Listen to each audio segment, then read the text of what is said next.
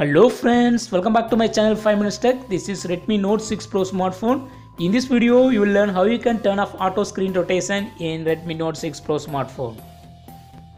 See here, when you change the position of your phone, the screen is also rotated. So it's automatically rotated when you rotate your phone. To prevent this, you have to use one option here. Go to the notification area and click on rotation off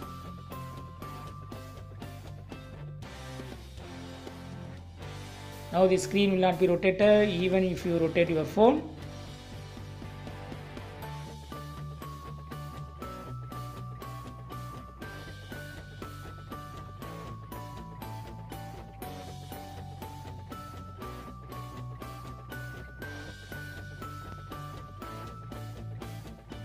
So in this way you can easily turn off auto screen rotation in Redmi Note 6 Pro smartphone. That's all friends. Thanks for watching. Subscribe for more videos. Until then, goodbye.